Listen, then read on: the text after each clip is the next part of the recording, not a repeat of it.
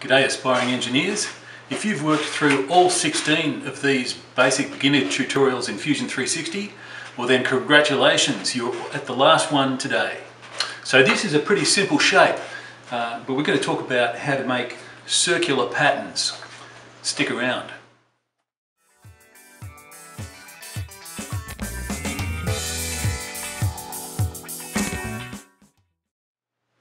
Okay, so go ahead and download the 16 drawings. The link is in the description below. Now, this is a simple shape, but there's a couple of things on this drawing, and I want to talk to you about drawings in general. So go ahead and uh, pause the video, download, and come back when you've printed this off. We don't have to print it off, but it's great to have this in your hand while you're doing some practice here. Alrighty, let's get into it. So this is a flange. Uh, it's a common engineering shape, not only for pipes, but also for uh, all kinds of mechanical products, often they have a, a series of a set of holes spaced around a flange. Turn on the origin of the, uh, the document here by clicking on the little light bulb and right click, sketch, create sketch. Choose one of those planes, doesn't matter so much for this one, and hit the C key for circle. Uh, let's put a circle there and let's draw another circle and a third circle. Uh, it doesn't matter what size they are very much. Hit the D key to get the dimension tool and let's put uh, a size on this uh, internal one and that's uh, 100 millimeters. The next one is 130 going by our drawing and the last one, the final one, the outside one is 230. Now I do want to put one more circle on there. Oops, dropped out of the circle tool, there it is. C gets back, back into it.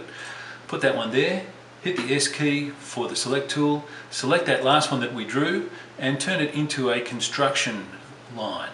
Uh, we also want to put a size on that one.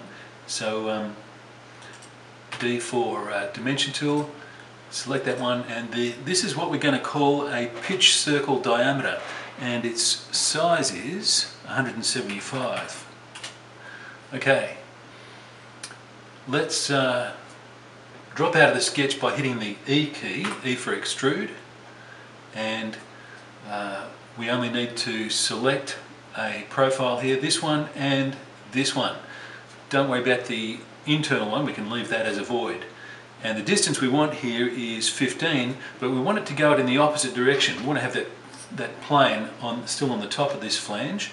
So I'm going to type in minus 15 and enter.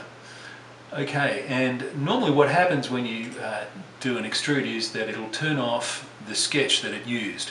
But uh, we want to use that again, so let's turn that sketch back on and hit the E key and choose that little inner annulus there and you see that this has got a uh, an extrusion that's pointing in the correct direction and you look from look at our uh, uh, drawing here and you see that the total height of this part is 80 we've already done a, uh, an extrusion with a depth of 15, so 65 is the distance of what we need to do in our second extrusion.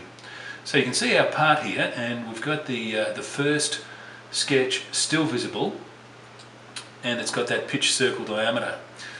Now let's uh, go back and do a little bit of a an edit to the, uh, the sketch, and so all you've got to do is right click on the, uh, the sketch in the tree and find edit sketch in the flyout menu. I uh, forgot to put in one thing and that's an alpha line and I'm going to put a line from the center of the part vertically and uh, let's click that little green tick just to get the chewing gum off my shoe. Now you can see that I've picked up a vertical constraint here on that line and that's good. If you didn't get that vertical constraint, select the line with the, uh, the select tool, select the line and hit that uh, uh horizontal vertical constraint in the constraints palette. The next thing I want to do is select that line one more time and make it a construction line and uh, that way it's not going to interfere with our geometry at all. Now we need another line starting from the center again and somewhere out here. Uh, hit the green tick, hit the uh, S key to get the select tool, select the line, turn it into a construction line, hit the D key to get the dimension tool and get a, let's put a dimension between those two lines and uh, the angle that we want here is uh, 22.5. Now the reason why I've chosen 22.5 is that uh, we've got eight, eight holes spaced around the pitch circle diameter and there's a tradition, there's a convention in engineering and that is that you don't put uh, one of the holes on a flange in at 12 o'clock on the, on the clock. You always uh, have them equally, equally spaced around the flange and so if you divide 360 degrees by 8 you get 45. Half of 45 is 22.5 and that's why I've offset a line there. We'll come back to that. So uh, let's drop out of the sketch. There's the stop sketch button nice and handy.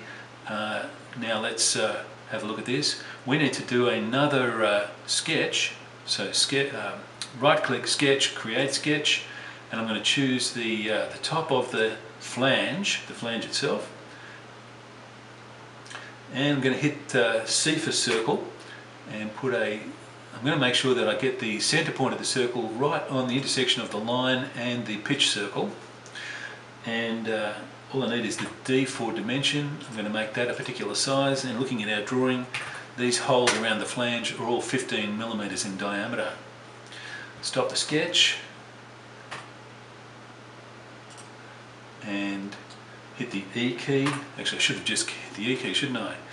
Now, uh, in order to extrude this one, we're going to pick the, uh, well, we're going to pick up the quadrants here by the looks of things. If anybody's watching and knows how to pick the whole, this little circle here, what I'm doing wrong, go ahead and tell me. Making a bit of a mistake there. Just got to be careful selecting that one and we've got it. And so the, uh, the distance for this one, you see that the little blue arrow is pointing up, so we need a minus, and the thickness of the flange is 15. That's got it. Alrighty, so uh, there's a, uh, a flange uh, on this part, and we've got one hole in position. Let's uh, look at the, uh, let's go to the create menu and find the, the pattern command and on the pattern flyout we've got rectangular pattern, circular pattern and pattern on a path. We're just interested in the circular pattern for now and you'll see that uh, there's a number of different kinds of pattern that you can make in the dialog box that can do features, faces, bodies and components. So uh, we're in the uh, we're going to be doing a feature. We're doing a pattern of features here and the next thing that the software wants us to do is to select the feature that is going to be patterned. And so I'm going to go down to the feature tree, which is along the bottom of the screen, and pick that hole that we created a moment ago. And so there it is selected, and the, it's now asking for an axis. So uh, I'm going to click the blue axis, as you can see there, and that's got it selected. The uh, type of rotation is either a full or an angle, and it can be symmetric, but we're going for a full rotation here. There's an option to suppress things, I'll show you about that in a minute. Now there's three in there by default, we'll change that to eight according to our drawing. And so we're right to go now. I'll click OK and there's our part. But uh, let me show you a, uh, what I was going to show you a minute ago about the uh, suppress feature. So in the in the feature tree along the bottom of the window we can see the, uh, the pattern feature there. If I right click on that I can choose edit feature in the list and uh, We've got suppress ticked in the dialog box and you notice we've got these little tick marks on all of the eight instances or the seven extra instances of the pattern. Let's turn off this one here and you see that I've unticked it and we'll click OK and the pattern has that missing. So we'll go back there and right click, edit feature, turn that back on and OK and there we have it.